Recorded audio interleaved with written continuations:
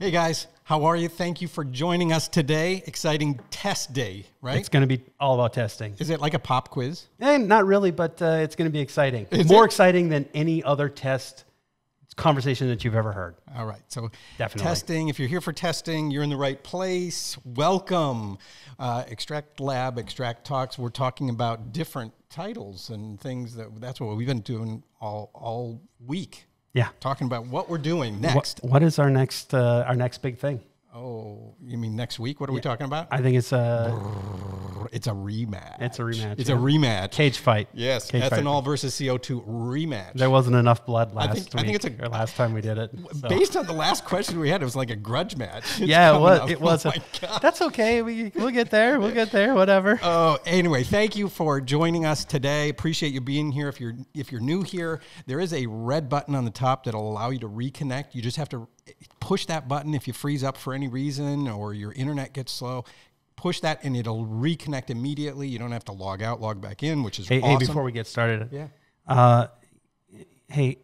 Oh yeah. Here, before we get started, I got to I got to light light the cigar here. Oh yeah. Hang on here. Okay, there we go. There you go, Winston. There. All right. Okay. Our third man. Yeah. we we just play fiddle to him. That's good. Okay. Also, this is a fun and safe place to ask questions. Ask as many questions as you want. We love it. Uh, we need those. There are going to be some polls uh, coming up uh, here and there. Uh, this is uh, full questions, full everything. Let's uh, go. We do have the live tour available for you as resource. We do a live tour our, our five ton facility here. Um, CBD jam sessions are available. We, a lot of you have been taking advantage of those. Do you Yeah. realize that? Yeah. Yeah. it's really great. Our team is It's loving cooking. it. They're asking. They're Yeah. a lot of good questions and a lot of valuable uh, insight. So we're learning from you, just like you're learning from us. Yeah. Well, hopefully. Well, it's a great one-on-one. It's an opportunity to ask your question to people who you know who are talking to customers all day long. Um, yeah. And it's safe. There's nothing there. There's no pressure. There's no nothing. We're just here to serve you. So Yeah. call, join CBD Jam Sessions. That's what we're calling them. Uh, we do have an advanced extraction guide. Calculator library is online. I think you've got Uh, that. Is it, it, on? it- it's almost. It's there's like, un poco. it's un poco. almost there. Almost there. Okay. But I think I talked to Tim. He said he's got like 11. Yeah. You're, you're just waiting. You're just Yeah. Polishing them up. Well, no, I, I still have to. I just going through and reviewing them, and, and, it's almost done. So are- I'm a bottleneck. Okay, They're whatever. what very I cool. say? No, i i important because we want to make sure you get good tools. Yeah. Mini course libraries coming up, all good stuff. So thank you for being here. Again, test, testing. That's what the topic is today. Yes. Testing, testing, testing. Not One, one, two, two, three. three. Is it one, two, three? No, it's Oh, not I almost said jinx. right. then who would have to pinch who? I don't know. Isn't that how that goes? No, no, Charlie horse. Oh, Charlie Horse. That's right. Okay. It's silly me. Um, poll is up there. Are you a uh, grower? This is going to help us answer some of your testing questions and field this in. Are you a farmer, grower, processor, chemist? Uh, investor, entrepreneur, who are you? Uh, that would be good for you because that'll help us tailor where we should talk most about testing. And if you're asking the question, pretty much we'll know where the test question is coming from Right. in the process. But Right. I know you've got a few things you want to talk about. Yeah, we're going to switch up the format a little bit. Okay. Uh, so I have uh, I have a series of slides that I put together. Okay. And it, and we're just going to be going through you know some of the problems in testing. I think that'll hit a nerve with a lot of the people that are listening. I love the last time you did that presentation and everything. So I'm looking forward to But in to this case, it's all going to be live, in interactive. in other words, Oh, so we're going to bring be, your questions yeah, in. during it. So while while you're doing it, Yeah, uh, yeah. you know, it was live, but it was more sequestered Yeah. last time. So we're learning. right. So we're doing this better. So with some input. So thank you. So as we go through this presentation, go ahead and bring in your questions. We've got already some coming in. So thank you for that. Thank you. Um, all right. So do you want to hit it? yeah, let's do it. I, let's let's hit it here. Um, And Hey- while he's setting it up, I'm sorry. I just wanted you to know we have nomination win, uh, uh, winners, nominated. Facebook winners this week Tina Maxey. All right. And Instagram winner Michelle Benton. We called them Momination since this Sunday is going to be Mother's Day, I think. All right. At least where we are in the queue All right. uh, of, of that. So that's good. Congratulations. Make sure that you participate, engage in our social media Facebook, YouTube, Instagram, subscribe. Love it. Sorry. Okay, now the slides are up. Okay. You're on. Very, very good. Let's do this thing here. I'm relegated stage left. Um, yeah, and I'll just kind of move over here into the camera with my head like this. it's no big deal. Okay, okay, guys. So, um, here's here's the deal. Here's the top five facts that you need to know about testing uh, for cannabis or hemp or CBD or whatever you're looking at. So, um, first first rule uh, is that basically uh, all the test testing that takes place, the rules for accept the accept criteria varies from state to state. Um, and in fact, uh, some states have no rules.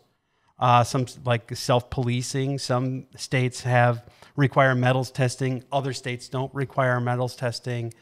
So uh, the rules are basically all over the place. And uh, the issue with that, of course, is that uh, it really kind of, you know, kind of lends itself to, say, manufacturers or people who are a little less uh, stringent on their um, on their testing to go shop for the easiest pass. So that's something everybody needs to be aware about, uh, you know, especially consumers. So as they do that, uh, Yeah. sorry, uh, when they are looking for what tests are required in their state, is that an easy Google? What tests are Yeah, available? yeah, What I- what actually- do I need to do? Um, yeah, so you can go to the state uh, register and you can look up the law and you can see what is testing. Um, uh, there were some articles that were written too where it went state by state, but essentially what ended, the article ended up just being a state by state bitch session. so it wasn't it wasn't wasn't really good. It was like, oh, here's everything that's wrong here. Here's everything that's wrong here. This didn't work here. Call your legislature. You know. Oh. Um, so it wasn't really a str- strictly on the rules. Got it. Um, but there, there, there are articles out there if you take a look at it. Um, it, it would be a lot of work to go state by state and just do like a comprehensive Well, list we've of all got that. our guys, and you know, one of the things that we can do is we can start trying to put that some of those links together from our team, and Yeah. just at, at least post it somewhere in a blog post, just easy link. Right. Uh, so, but make sure you look for your state's parameters wherever you are. Right. Exactly, no problem at all. Um, there can be problems with the test results or the formulation. So I don't really know. Okay, there's always this idea of presumption of innocence, right? um, but the problem is I don't know who who. There, there are usually two players, and you don't. One could be innocent, and the other could be innocent. So, but usually there's an accusation. And then, uh, and then, and then, you know, depending on what side you're talking to, if you're talking to the laboratory, well, it's just because, uh, yeah, that's that's what it is, and we we have all of our stuff together, and yeah, they have a contaminant, or um, or if it's the manufacturer, uh, it's always the laboratory's fault. So there, the reality is though that there there are definite problems with uh, with the test with some test results. You have to um, you have to understand. Uh, your vendor and you have to understand the processes that your vendor is using and then as a as a uh, manufacturer you really need to set up your organization for the the highest grade level of testing. And we'll kind of go into where you would do that in this case. So also um, you anybody who's listened to our prior podcasts uh, knows that my opinions on uh, past designations. So a past designation does not mean that your product is pure. And I got I have again I have this uh, tincture here that kind of shows it. This is a this is would receive a past designation from every basically every third party lab in the country, but it has you know 5,000 ppm of pentane, 2,000 uh, 5,000 ppm of 2-propanol, 5,000 ppm of uh, methanol, acetone 5,000 ppm. Again, if you took this, it, it it really smells horrible, but it would be a pass designation. Uh, a third party would say it's okay, uh, but you you you wouldn't be able to um, you wouldn't be able to actually, you know, That's taste- bad take stuff. It. Yeah, you- it's really bad stuff. You made me smell it. yeah, it's on it's- air one time. Yeah, it, it's it's horrible. And if you took this every day, it's like drinking this your bottle of water. Yeah, yeah. So th- that's that the issue. If you had a if you had a, a you know a known contaminant Mm-hmm. and it with a pass designation, in other words, a, go- a good pass uh, certificate, a C of A that says this is okay to take, and you took that, you know, uh, basically three dropperfuls of your tincture per day, you'd be drinking approximately 370 or uh, 470 milliliters worth of heptane per year. Yeah, it's a real issue. Oh. So it's it's disgusting, and and not only that, uh, at some point in time, like I said before, we have to get away from uh, you know taking chemicals into our bodies. Okay, avoid manufacturers who do not have an SOP for flagging and identifying unknowns. This is a really big deal. Did anybody here remember the uh, vitamin E acetate crisis and the vaping crisis? Okay, uh, look mm. if if the manufacturer had or or third party testing labs for that matter um, had a process to say, hey, there's this big peak in here, and and we identified it, and it's vitamin E acetate. Do you know that that's in there? Okay, that would be uh, that would be the the the most uh, beneficial test to have. So. A lot of times you get things uh, like your ingredients or your raw ingredients in to your manufacturing facility, and if there's an unknown in there, you have to flag it. You have to figure out what that is before you go forward. Um, and so uh, we'll kind of go uh, talk a little bit about that. We'll talk a little bit about how uh, that really works with your third party um, testing facility. Um, and so we'll, we'll talk about that a little bit later. And then a flower test method can't be used to test lotion without revalidation.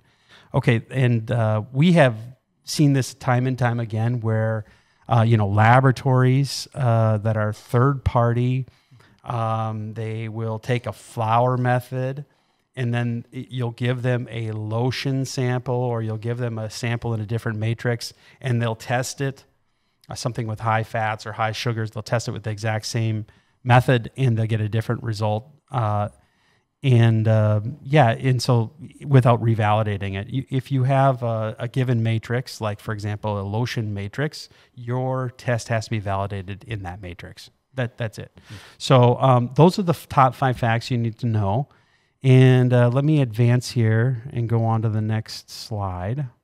Okay, so I'm just going to kind of do an outline here. I'm going to show you some of the problems with testing. You do not have to go very far uh, on the internet, on Google, and basically uh, you can find all kinds of problems i mean and there's lawsuits going on there's mm. falsification of data going on there's lack of uh, verification i'll i'll talk about some of my experiences uh, as well so i'm just going to kind of go through this um, this is kind of a nice example that i found yesterday um, showing uh, two different uh, two different laboratory testing third party laboratory testing ostensibly uh, running the same exact method this, for the same exact thing. In this case, they're looking at a potency.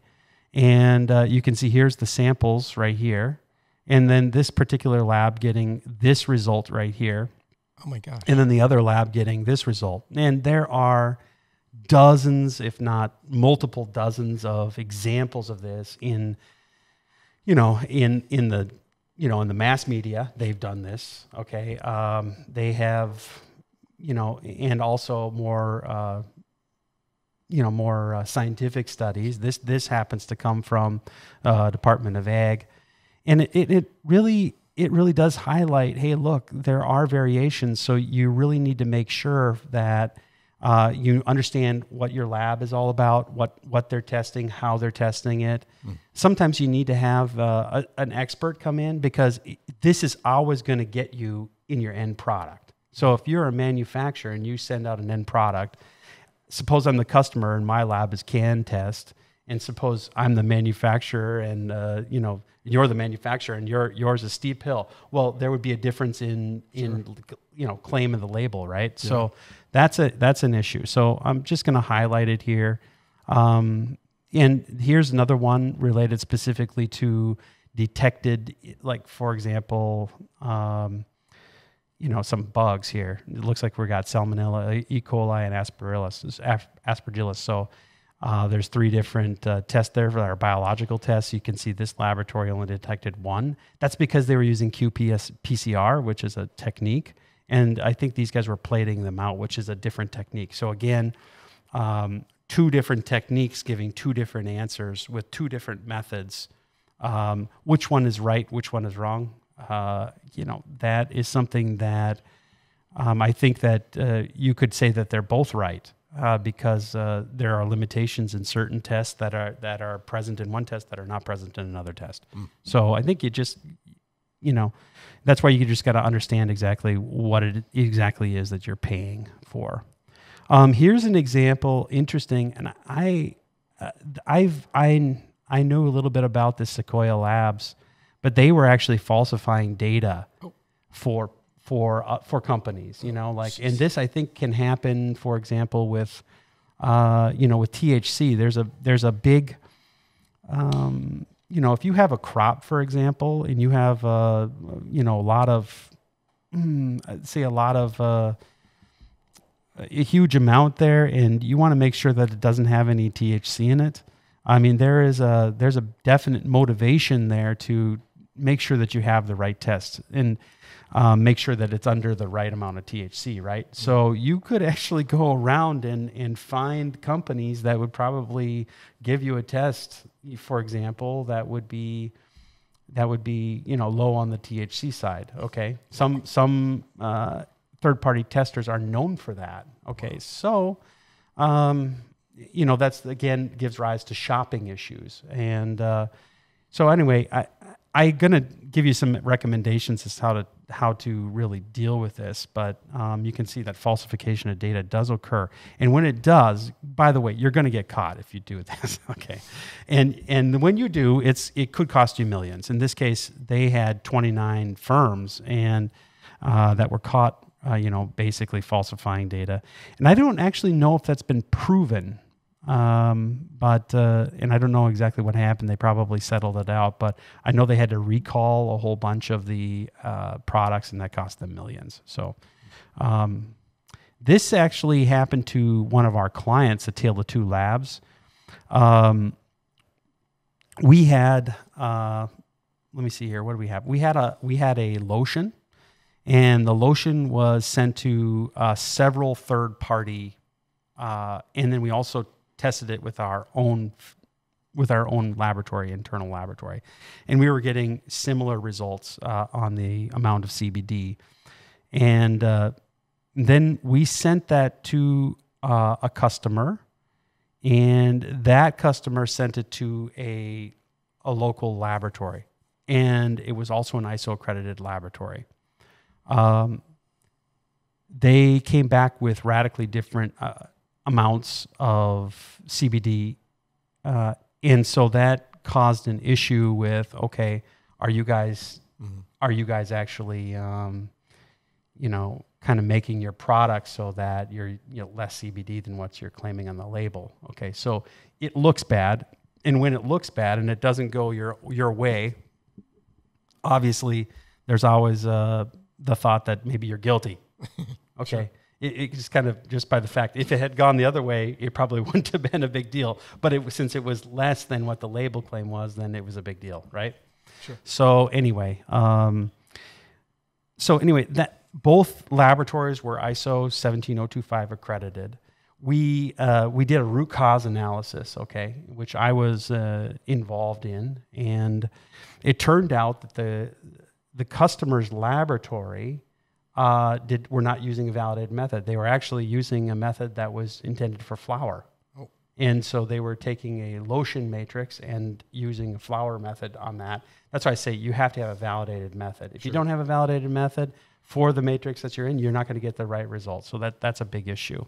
Um, so the what was at stake in that case was hundreds of thousands of dollars worth of future orders. So we we really took um, we t- really took a lot of our um, we took you know i got involved in that. Um, and uh, we had our laboratory involved in that. And there are all kinds of different things uh, you know the lawyers are exploiting the situations now. This is a lawsuit that was filed just i think it was just last week. Um, there was a company that had uh, basically had claims that they didn't have any metals and that they didn't have any pesticides. And uh, they sent it off to one laboratory and then uh, a guy bought a bunch of the stuff uh, that this company was selling and then sent it off to the same laboratory to get retested and it turned out that the, te- the two tests were not not the same one the stuff that he had was contaminated Oh my gosh. and the stuff that uh, and he sent it to the same lab. the same exact lab Oh my gosh. so, so there's the lab's not the lab is a was a is a really actually is a very good lab, um, and you know I, I trust what they were doing. But they also here's here's the other thing. Like uh, if I send my lab my my test to a, a company in a state that doesn't really require like a lot of pesticides, and then I want to sell it in the whole entire uh, you know United States. In that state, if you if you're only testing for three pesticides in one state, and then you're testing for 60 pesticides in another state, um, it, it, and you get a pass in the in the laboratory where there's only three pesticides, sure. okay. Um, what, what are you really doing? Because the customer is going to take that and send it off to the lab where they're testing for 60. So you may have an issue. So if you want to, you know, sell sell to the United States as a whole, you're going to want to take and uh, test, uh, you know, select your laboratory that does a lot of pesticides, for example. So, um, but getting back to this lawyers exploiting the situation, uh, you know, this is a class action lawsuit. And um, so you, you really have to make sure that uh, not only your label is proper, but you really have to make sure that um, you know you know exactly what's in your products that are going out into the consumer market. Uh, because I think that this is going to continue to occur. And um, there's there's more than one class action lawsuit actually. So hmm. um, you know from the consumer standpoint buyer beware yes but also from the manufacturer standpoint cover your ass uh, you make bet. sure you cover your ass make sure that it's in it you got to do the right thing so you know, if you say it's pesticide free and you use the test where they're only testing for three pesticides and say, here's my test, and then send it to a state where, you know, 60 pesticides are being tested on, that is a problem. Use the right testing methodology, use the right yeah. validation methods, right. use the, the similar things to that are based on your claims. Right. I remember in college I had a an economics course, and the one of the key books was How to Lie with Statistics.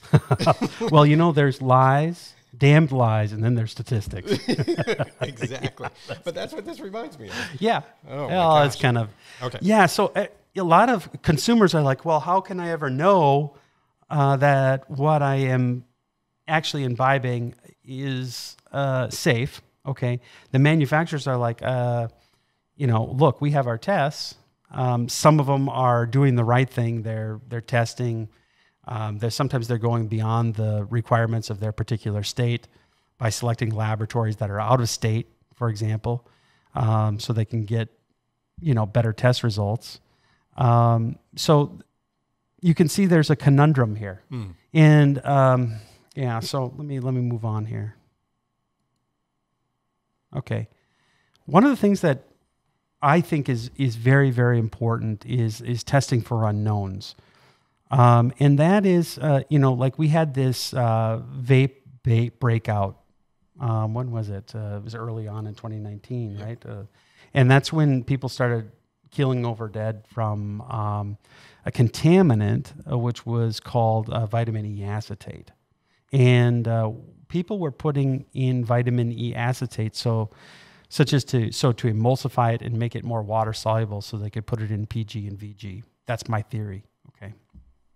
And um, of course, you can take vitamin E and eat it and you don't have any problem. But when you start to inhale it, it, it becomes a problem. So people were looking at the label. Oh, it's perfectly fine. It's vitamin E it's an antioxidant. It's perfect. Well, let's start smoking it. Okay, so let's uh, put it into our vapor juice, and you know, the deal with the vapor juice and the you know the actual e juice that was in there, it was a THC e juice. Um, it passed all the tests, got certifications. Oh yeah, this passes. Passes potency, purity, identity. Didn't have any contaminants in it. Uh, it passed it. Passed all the tests. Yet it still killed people. That's because there was a huge peak in there in their test that said, "Oh, this is an unknown." They didn't identify what the unknown was, and that nor was there any flag that said, "Hey, there's something unknown in here." It's just pass, pass, pass, pass, pass. Okay, that's a problem. Okay, and I think that the manufacturers really have an opportunity here to uh, give confidence to the consumers um, by by saying, hey, look, we, we, we not only do third party testing, but we also do testing internal to us. And this is actually the future of the business. Um, you know, we, we have a check on our own uh, tests. We know what we're doing. We have our own tests, uh, but, uh, but we have a check, and that's called a third party test. But then we have our own lab, and we're testing for unknowns there. Okay. And uh, for example, I'll, I'll, give you an example that we had early on in my career. We had purchased uh, three barrels of, what was it, uh, food grade ethanol, and they were all had the same lot number. And we did a full battery of tests prior to letting it into, taking it out of quarantine, letting it into our manufacturing lab. Uh, one of the tests one of the tests for one of the barrels from the exact same lot showed up with a high level of arsenic in it. Oh. So if we had just, you know, said, okay, we're going to use this and taken the C of A from the customer for that particular lot, there must have been a contamination in the barrel or whatever we didn't know about.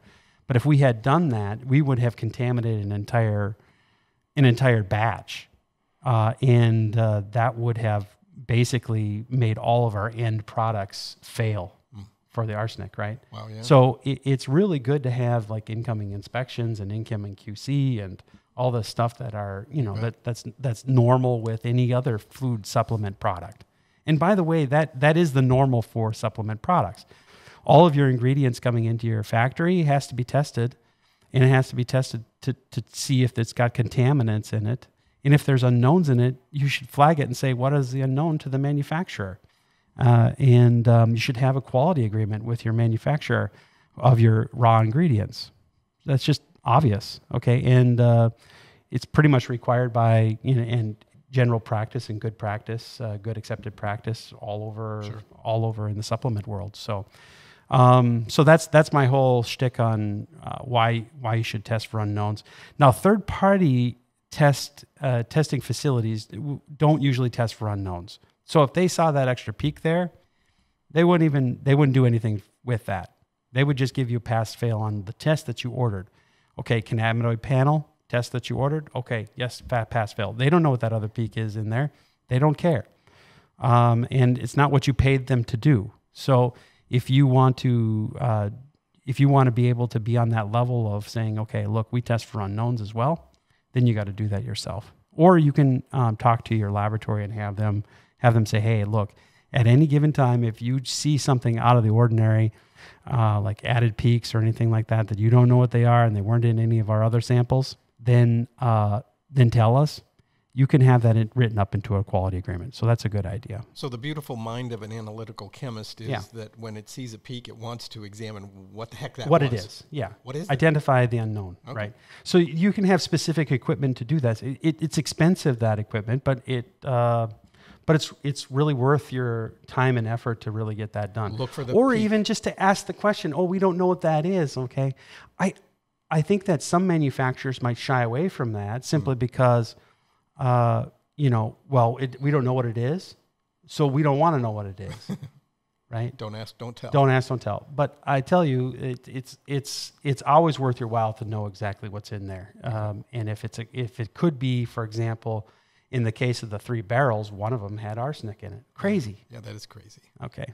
So, um, what are the potential causes? I'm not going to really go into this in detail, um, but just, just, uh, and and I think that it's not all perfect here. Um, there's there's a lot of it's a complicated set of issues that are wrapped around these analytical problems.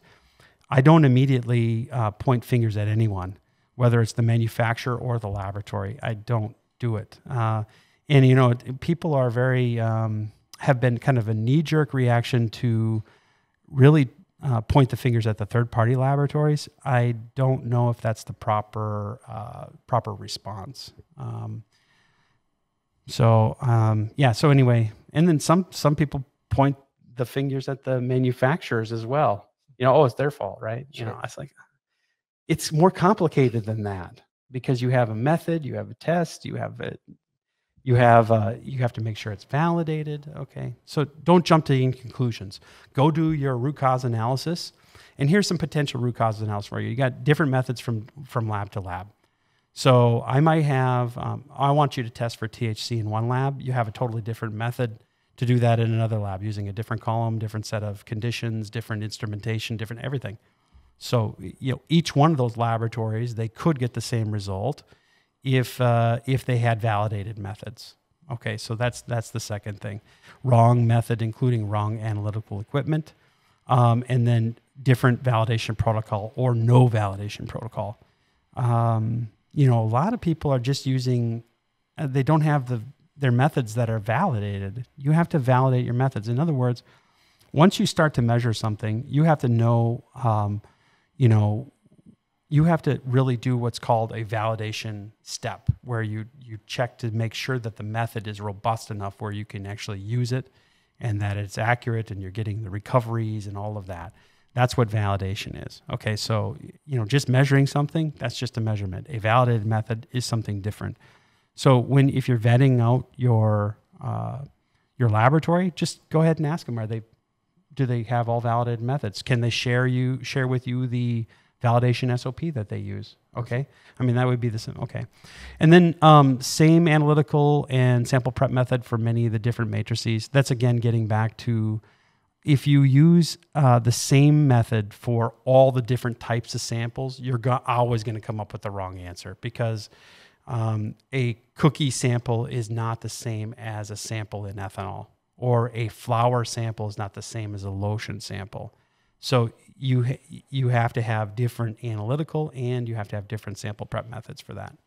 And then um, sample preparation validation of methods. Okay, so sample prep is probably a really big area here that I think um, you know it, there's a whole science around that sample prep. Um, I know um, a, quite a bit about the sample prep side. Some people use what they call QuEChERS. Some people use what they call you know just dilute and shoot. Some people sonicate. Okay, you're going to get different uh, results from each one of those different sample prep methods. Mm. So, anyway, uh, those are some things that you need to think about. I encourage you to if you do have a problem, you call us. We can help you look at you know what that problem might be. Um, we can take a look at it um, and see if we can give you a hand uh, to try to sort out the issues. Um, on a consulting basis, it's not a problem.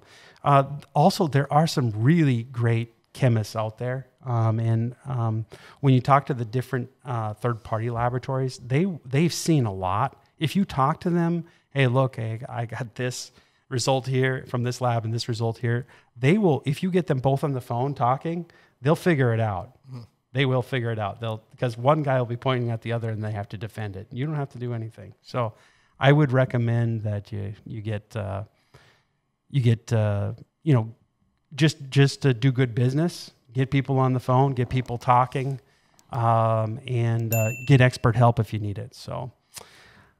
All right, uh, let me see here. Go down to the next one here. Okay, so that, that's the that's the problems with the testing, and I think eh, I I I should have put a um, something in here that says how many people on, on the line here have problems with testing. I mean, or have had problems with testing. Whether you're a farmer, you've had problems with testing. Sure. Okay. If if you are a manufacturer, you've had problems, and if you've sold any CBD at all, you've you've had problems with testing. Yeah. So I think it's pretty much a universal problem. Um, you know, and people know about it, but it's like, okay, what do I do? Um, I got some I got some good uh, good ideas here for you guys. Um, problems with the limits. Now, um, this is something that altogether that is, um, you know, this is kind of something that I am doing a lot of research on lately. Um, and, you know, in terms of the problems that we have, um, with the limits. I got a big problem with this. Okay, guys. Um, if I have, for example, if I'm doing a separation and I'm doing an extraction and I'm using a, a TTB approved method, basically the chemical manufacturer has put into pure ethanol uh, a, a denaturant. It's a contaminant. It's a chemical contaminant. You, it's very, very difficult to remove that contaminant. Okay, and the issue is, is that a lot of the analytical methods that are used for um, measuring the presence of that contaminant, they have very, very high limits of detection. So you can have a lot of it in there. Plus, the limits for those solvents are also very, very high. Like I had this this tincture here uh, that I made up. That was a this is an FDA approved USP 467Q3 pass okay, and it's got all that stuff in it. That's because there's no cumulative max. No cumulative max. So you, they made the specs so large that you could drive a truck through it. And actually, I think that this would be harmful to anybody who took it. And you can see these are all of the in the um, these are all the class three, except for hexane and methanol. Um, these are the class three, uh, you know, solvents that are on that list. So any of those can be in there at 5,000 psi, and you get a pass. Okay, so one of the things that I recommend you do is is just don't accept a certificate of analysis unless it has a a a known level that it reports, not just a pass fail. So that's the first thing. And the second thing would be um, look, uh, I think the limit of detection and the limit of quantitation is really important. Let me, let me explain what that is. What is the minimum amount of this particular heptane, for example, that could be present and the test would still detect that it's there? So if it's like two, 300 ppm, that means I could have two, 300 ppm uh, parts per million in this, and, in the, the analytical method would say it's non detect. That's ridiculous. Um, I don't want I don't want heptane. I don't want to have uh, methanol. I don't want to have hexane. I don't want to I don't want to eat that stuff. It's not good for you. I'm a chemist. I've already been exposed to every you know chemical. Like I've been handling you know chemicals like crazy. So I I don't want to eat it. No, No. that's bad. Yeah. That's bad. Yeah. So I don't anyway. I don't know. So uh, this is, you know, a lot of people are doing ethanol and they're trying to reduce the cost of their ethanol because ethanol is an expensive technique, period. And, uh, it, and they're using this uh, cheap chemically, chemically uh, contaminated ethanol and they're not able to get it all out. And they get the pass and people think it's safe. And it's not. It's got a actually it's got you know we've seen stuff with uh, we've done a big study of basically ethanol samples coming into our laboratory for testing. And yeah we we see that you know at least 30% of them have uh, multiple solvents in them. Acetone ipa uh, you know hexane heptane it's crazy. People are eating this stuff and giving it to their kids. So um, yeah i wouldn't I, I just don't like it. Okay um, so that I think there's a big problem with the limit, and I'm not going to delve into that. It's kind of a different topic for a different time. But even if uh, it's a part of testing, because there's always something that says, okay, this is pass, you know, pass designation. You know, um, well, if the if the pass designation is so high as to what I would think would actually harm you, but it's still got a pass designation, what does the pass designation mean? Yeah. I think it'd be much better to have like, okay, it's not in there at all, or uh, you know, solvent free, Solvent. or just avoid the risk altogether. Yeah, why use solvents? Okay, okay. So who does testing? Uh, farmers, investors, consumers, producers. Okay. Um, farmers are always looking to test the crop for potency and contaminants. Um, so, for example, um, farmers will test their soil uh, before they start.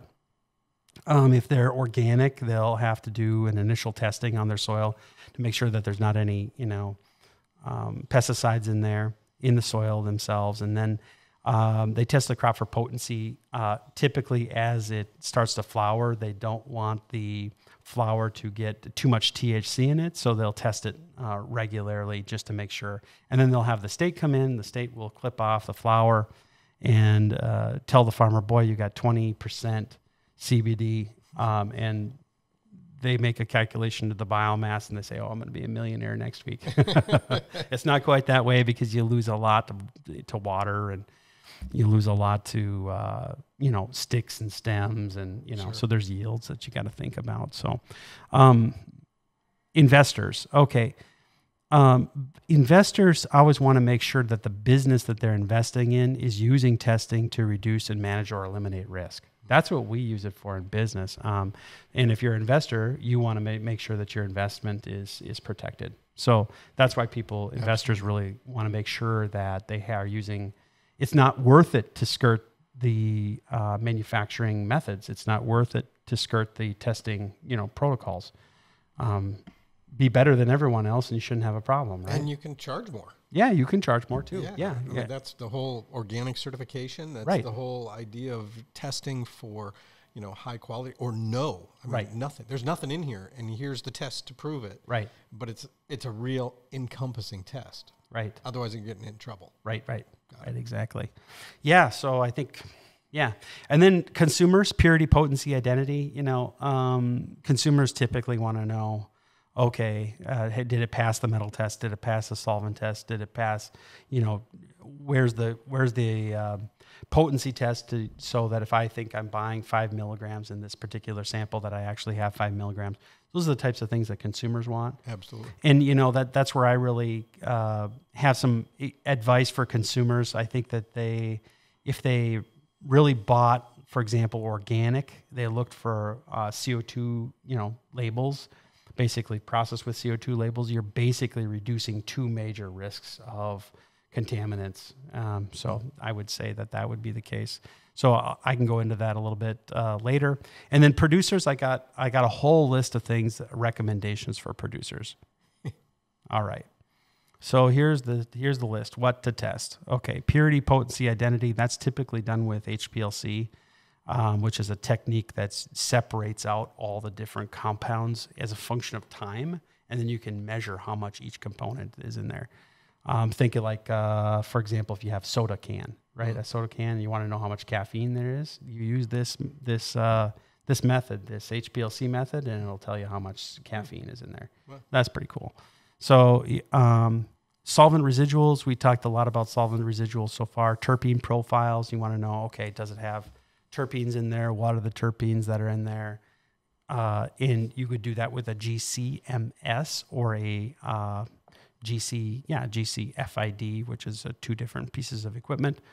Uh, toxins, aflatoxins, mycotoxins, you know, these are things that uh, I've never seen a positive test for toxins mm. in all of the tests that I've seen. It's almost like uh, we don't have a toxin problem, but uh, I, maybe there are some laboratories who have seen that, and I don't. You'd have to have a pretty. Yeah. I don't even know where they where they come from. I wish I knew a little bit more about it, but I, we've never seen, seen, a positive on toxins. If any of you watching, if you've seen any toxins in any of your test results, um, uh, put it in the chat. I'd love to hear about that. Yeah, that would be very curious. Yeah, because we haven't seen it. It's not there. Right. Okay. Go. Sorry. Pesticides, no problem. Uh, pesticides, metals, microbiologicals. Um, this includes, you know, E. coli, um, and you know, any type of filth measurements. Okay, is what they typically call it. Foreign materials would also uh, fall into that. Vitamin E acetate. Um, a lot of laboratories are testing for that. A water activity, moisture, and then I put in there unknowns. So this is what a typical uh, you know, a typical manufacturer would want to test. So if you're doing a good job in your testing facility, let's go on to the next one. Here. And that's Doug, by the way. That is, that's Doug. That's Doug. He's one of our chemists. Yeah. Yeah. Snoop Doug. Snoop Doug. Dougie Fresh. I don't know which one. I'm not sure which one he's going by these days, but yeah. And he's right now he's tearing his hair out because we're we've got an ISO audit coming up. Oh yeah, he's doing ISO. Yeah, he's doing ISO like so crazy. So, but he was working on HPLC there.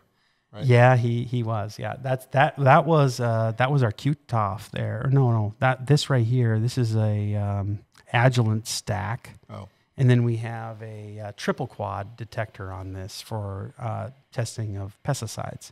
We also have what they call a QTOF, which is a for unknowns, which we use specifically for unknowns, wow. um, which is a nice little piece of equipment. The lab is very cool back there. It's fun to go back. Yeah, yeah, it's watch. it's it is really cool.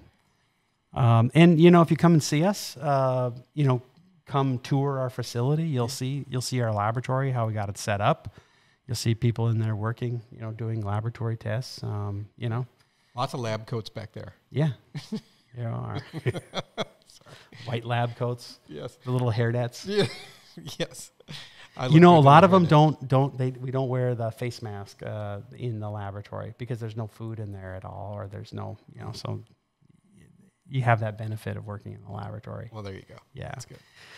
Okay, so this is now where to test in hemp processing and uh, or in your cannabis uh, processing. So um, this is really where to test. So let, let's kind of go through this. Um, and I, I kind of have already looked at incoming testing, mm-hmm. um, showed you some reasons why you'd want to test uh, your ingredients and or your solvents at the very beginning. And typically uh, you receive those goods in the receiving area. They are sampled in the receiving area, and then they're moved to quarantine. Um, and you know, they don't get released from quarantine until quality assurance has said, "Hey, look, these are good." And the r- way they do that is they look at the QC results, which is quality control results from the test, and they say this meets the specifications for that ingredient, and then they check it off and they say it's ready to go. It doesn't go any further than quarantine until quality assurance says it can go to hmm. the rest of the facility. That's just a good check. You know, you got to set this up, and anybody who is running a manufacturing facility needs to really set up that, uh, you know, incoming inspection uh, function. This is an awesome slide. I, I one quick question: Do you uh, did you make this with a dry erase marker or something? because it's hard. You get to look like you. It is a, it's a little small. Um, yeah, no, I was I Sorry. made it with my my pencil and I whittled it down with my knife. so it's kind of like a, Okay. Okay, all right. Um, receiving and then goes into quarantine. Um, then after drawing, so typically you would do like moisture analysis here. You would do potency, purity, identity, and you in this uh, receiving section, you'd also want to make sure that you are, are testing for contaminants coming in. Uh, we had uh, we had um, in in uh, Namaji, we had a uh, a big shipment come in of uh, of some guy wanted us to toll process for him. Okay, whatever, and uh, it was kind of interesting because it had the biomass had acetone, methanol, uh, ethanol. It had heptane in it, so th- they had already soaked it and uh, and sent it to us then for post processing of that. And there was like seven eight percent left in the in the materials. Oh my gosh. So we were like, okay, first of all, the material is hazardous waste. Okay, in and it's like get it out of here because it's got all these residual solvents in it, and it's going to contaminate our entire process. So, Wow. but we found that we're just at the very beginning.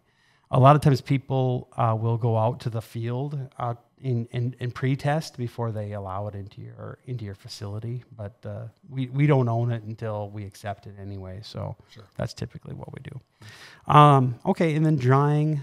Uh, you know, there's a yield process there. Typically, if you have a moisture content, you can do moisture analysis there. Um, that's kind of a yield process. Uh, you're grinding. Typically, you don't have. Uh, if you may want to test for like uh, particle size, but in this case, it, most of the time you don't test for particle size there at all. So once you know that your materials going into this process uh, are clean and clean and what you would expect, this is a yield process, but it's not really a chemical yield process. So um, maybe just measure the weight in and the weight out. Decarboxylation, you can uh, test uh, to whether or not you have decarboxylated your material. And then you can go through each one of these steps. Like with your extract materials, you can also do yield processes there. So Figure out, okay, what's my cannabinoid yield? A lot of people uh, use, uh, you know, weight yield, and uh, there's also such a thing as cannabinoid yield. You can have a very high weight yield, but a low cannabinoid yield.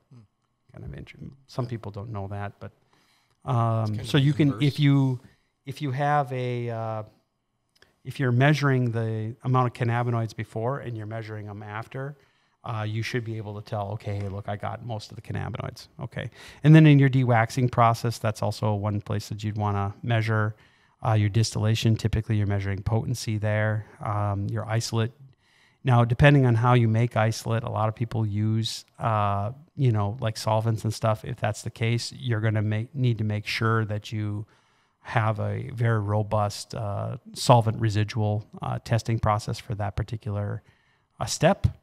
And then uh, in your formulations, that's where you start to get very complicated because now it's starting to get in, you know, you're mixing up your CBD or you're mixing up your THC with different excipients. You're making brownies or you're making um, gummies or you're making, uh, you know, tinctures or whatever. You're adding in oils and sugars and and things like that. So you have to be able to measure the amount that's in each one of your formulas, and uh, usually that takes a whole series of validated methods to do that. So you know, And then um, typically there's also packaging.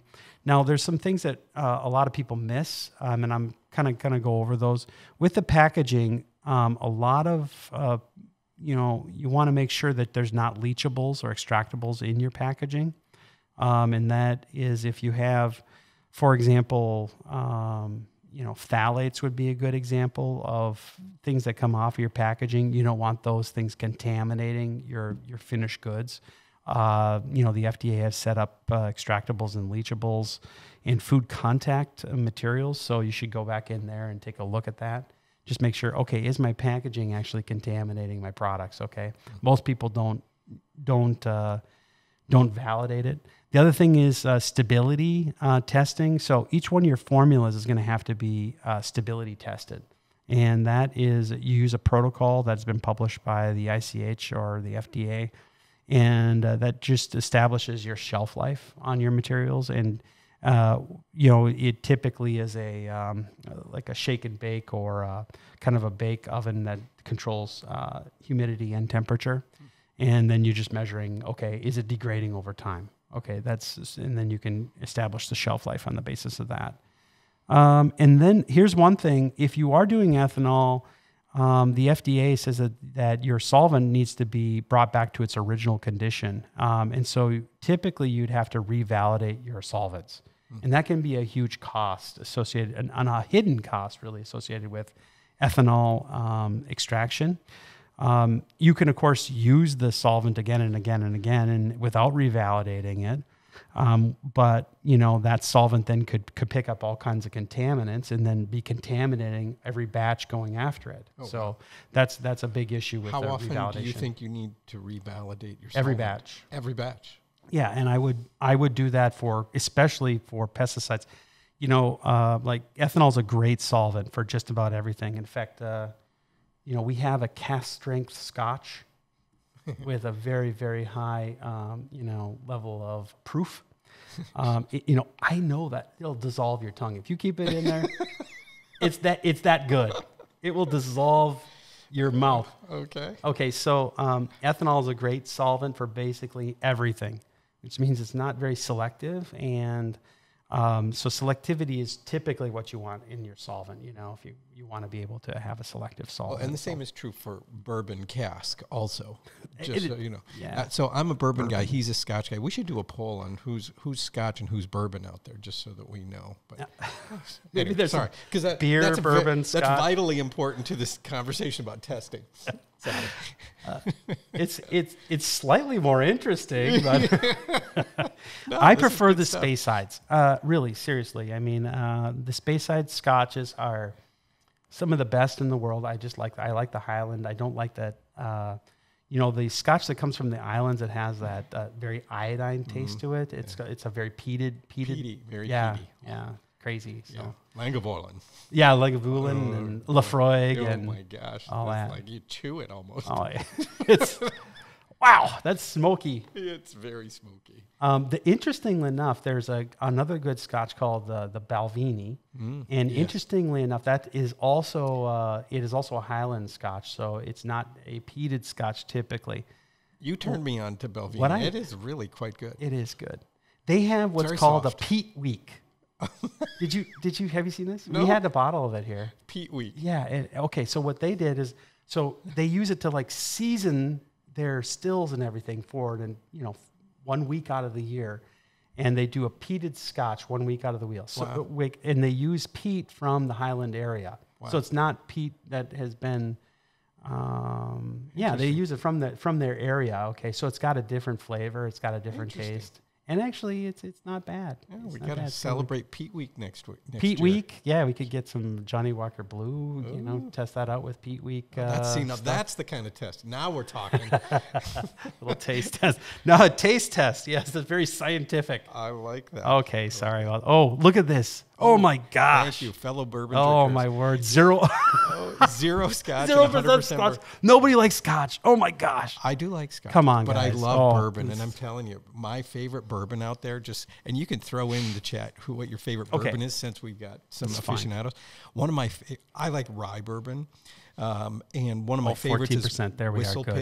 Oh, we got some Scotch Oh yeah, they're good. finally. Oh my gosh. Thank you for showing up. Yes, please. Um, the That was uh, embarrassing. Whistle pig, Wiser's, Wiser's. they're- you know is good. I like it, but they're Canadian. That's Canadian whiskey. it. Well, it's Canadian rye, Okay. uh, but it come yeah, it'll come in through Vermont. It's good stuff though, as does Whistle Pig. I and most bourbon is Kentucky, which is very good. There's a lot of good bourbons in Kentucky. Let me tell you, Jefferson's. I like Jefferson's. We should do a a just a uh, a taste testing. oh, we will be sloshed by the end of this. I'm in. Okay, testing. Oh, we didn't tell you what kind of testing. I love it. That's so awesome. Okay, sorry. okay. Okay, no, so- whatever. And I promise at the beginning of this show to um, not interrupt very much. And Oh, well. how did I do? Yeah, Not- you did great. You did great. I don't know how I talk so much. It's crazy, but okay. Well, here, okay. Look, th- so look, packaging, stability, revalidation of solvents. These are all things that you need to be thinking about, um, if, especially if you're going to reuse your solvents, reproofing your solvents, finished goods, formulation. So that that's typically where you'd test. Okay. Um, what does a C of A tell you? It does not tell you which analysis methods were used. In other words, the exact exactitude of the method. So beware, uh, buyer beware. Okay, it does not show you which sample prep methods were used. That's another huge issue. Uh, it does not show if a valid methods were used. Okay, and it does not demonstrate data integrity. It does show you what they reported. Okay, so we have used all kinds of different uh, testing laboratories around the country, um, and we ended up uh, one of the one of our say that does most of our tests is ACS in Florida for for third party testing. And they, they do a great job. Um, so yeah, I would recommend them. Uh, I would recommend them because they seem to be doing everything right. They do a lot of different tests. Uh, we'll put the we'll put their link in the notes if you could do that, James. Maybe That would be for ACS. ACS, yeah. Um, when you do, you know, third-party testing, is it important to um, uh, not only uh, when you're doing your in-house testing, do you also do a lot of third-party testing as well? Um, yeah, I think so. Yeah. Okay. Yeah, we do both. I know we do both. I'm Yeah. just, you know, I, somebody had asked that question. Yeah, so we're gonna we're gonna do that. Uh, we're gonna put that in the notes for you guys. Good. All right. Okay. One question earlier too is, um, uh, are are there any ASTM tests specific to the cannabis industry that you're aware of? Uh, let me see here. Well, there is for equipment, but I don't I don't think there are analytical tests that I that not that I know of. There is the um, uh, the uh, see what is that? That's uh, the herbal the herbal Mm-hmm. um, pharmacopoeia. Okay. uh, the AHP, I think is what it's called. That's a pretty good resource for you guys. And I do think that they are working very hard on getting out um, fully validated methods for different matrices. And I also know that the AOAC is doing a uh, test um, a validate will be putting out a validated method and that's that's actually really great so they have a validation protocol so a lot like uh, the usp they would be you know testing and they would publish that and then people could use that method and and rely on the results okay so Excellent. i don't want to belabor this too much i'm going to try to get back to the consumer okay so recommendations for consumers and producers okay the ones that i have in the square here really is is is both for the consumer and the producer. And then I have uh, extra three ones here down here for the producer. So avoid risk of chemical contaminants altogether using CO2. Okay, that's for the that's for the manufacturer. That's that's what I would do. Um, and that's not only because we make CO2 equipment. I think it's just you know it's who I am. That's why when I first started the business, I I kind of selected that uh, over a chemical process because I didn't I didn't want to deal with residuals. Sure. So and residuals are, you know, they're I don't want to give that to my kids. I don't want to give that to my friends. I don't want to give residuals. Well, as an Oh, analytical chemist, that's what you think about. yeah, and we see everything. Bad yeah, stuff. We see everything, Yuck. right? Yeah. Yeah. Okay. Um, so consumers look for the label, demand a C of A. Okay. So there are labels. You know, everybody who does a CO2 usually has a CO2 label. Why is that? Because they've made the investment in CO2 equipment, they've made the investment in CO2 processes, and uh, the facts are is that they are avoiding a huge chemical contaminant risk. So the, if you look for the CO2 label and they want to tell everybody about that, hey, we think we're the best. Okay, so they got a little CO2 label on there. If you're doing any inhalables, I mean, you would have to be crazy not to have, uh, not to not to use, you know, at, at least look for that CO2 label. Um, demand of C of A, that's great. Buy organic. If you can get a CO2 extracted organic, you are now have a double whammy when it comes to uh, avoiding the risk of contaminants. Mm. So I think that's just good advice. Buy organic, uh, demand a C of A, look for the CO2 label.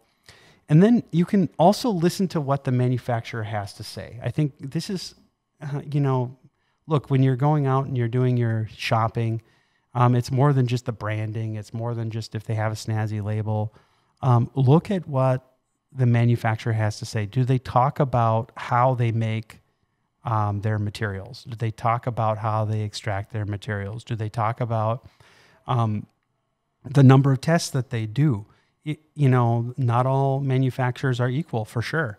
Um, so you know, typically if you're buying from like a, a, broker or something like that, or you know what we call bathtub manufacturers, people who are actually making it in their bathtub and selling them. Out. Well, it's it's it happens. It does happen. It's you know so exploding apartments. Yeah. yeah, exploding apartment. Well, You've heard that's happened too. I know. That's happened too. It's crazy. So, does the manufacturer care? You can go and you can look. You can talk to whatever their customer service representative and really understand, okay, what they're all about.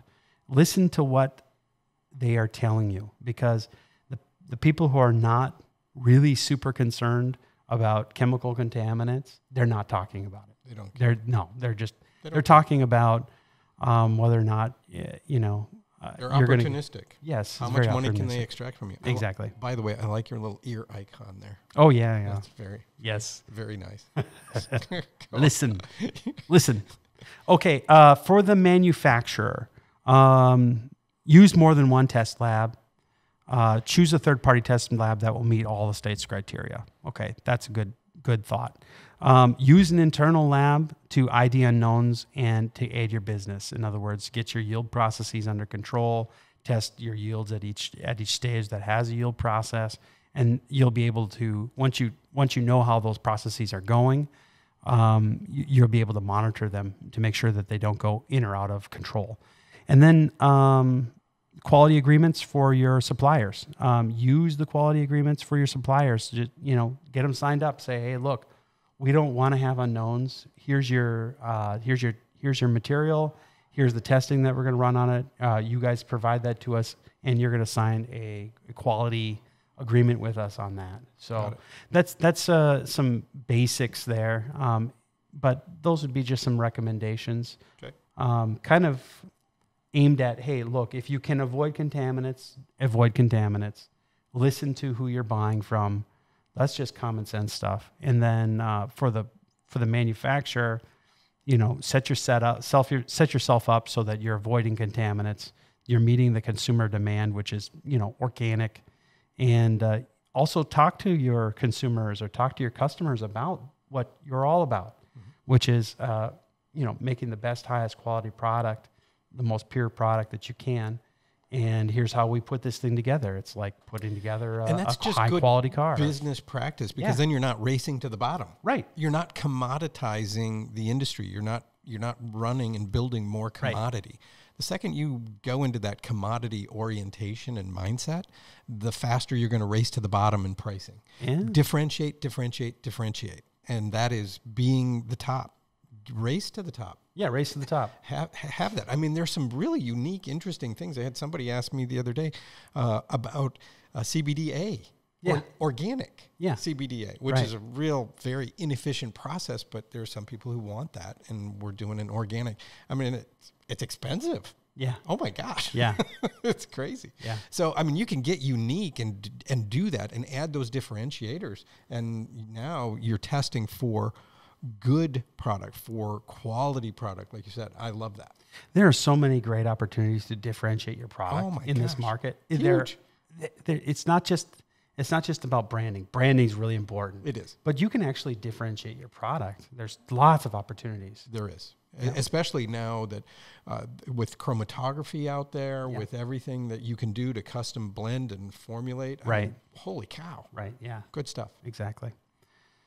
Well, um, so I think that that's the bottom line there. Um, you know, if you guys have any any questions, uh, feel free to go ahead and uh, send them in to us. We'll we'll continue to um, write up some FAQs. I know that we're doing that. Um, I haven't really done any blogging on this particular topic, uh, but I might I might set that up for you know some other time. So yeah. And I think, uh, yeah, I think we're we're doing good. Excellent slides. A, lot of things. I know this went a little bit long, guys. I appreciate you hanging in there. And then the questions that came up were were continually being answered. Yeah. And I was kind of guiding that Yeah. a little bit here. I was watching them there Those- and kind of talking to them. So. Those were my Thanks. well done. I, I think that that's and that's good. I think uh, we hit all of your questions. If there are, if you have any others, you know, they kept coming through, so I appreciate that. Uh, send them through. We'll put those in the FAQs. Uh, getting going. Um, I appreciate you being here. Thank you for sticking with us. Uh, we went a little bit long today, but this was good. Good Yeah. info. Very, very, very good. Um, next week, uh, we're going to be doing a rematch ethanol versus CO2. There were a lot of questions, and we have just like pages of questions that it came up that we want to address. yeah, we really- didn't get we didn't get to everything. No. last time. So No, so that's going to be uh, next week. Uh, we're going to be talking about that. So thank you for being here. And again, our favorite part of being here is engaging with you. Uh, ha- we have we have a lot of fun. I mean, Yeah. shoot, how, where can you have fun talking about CBD and hemp and marijuana and bourbon and scotch? uh, I I don't know of any other place. exactly. Uh, so I appreciate it. And uh, Nick, thank you for uh, the updated link. And uh, Nicholas, sorry. Um, and Preston, love it. Will it? Nice. Uh, Bowden, thank you, fellow bourbon guy. Uh, and, and Scotch. We're we're mut- we're not mutually exclusive. I, I I wouldn't. Call, No, I- I, I do ca- like I do like bourbon though. But bourbon scotch. Anyway, uh, subscribe to our YouTube channel. Everything we're good. Thank you. S- scope us out on uh, the uh, on the social media side. Uh, thank and again, uh, Mama Nation. We've got uh, Tina Maxey and Michelle Benton, Facebook and Instagram winners. We will pick winners next week as well. So go on social media and we'll throw it out there. Invite your friends and family. Uh, would love it. Thank All right. you. Appreciate it. All right. Good job, man. Yeah, talk. Nice job. Talk to you guys later. Okay. Yep. Thanks for being here.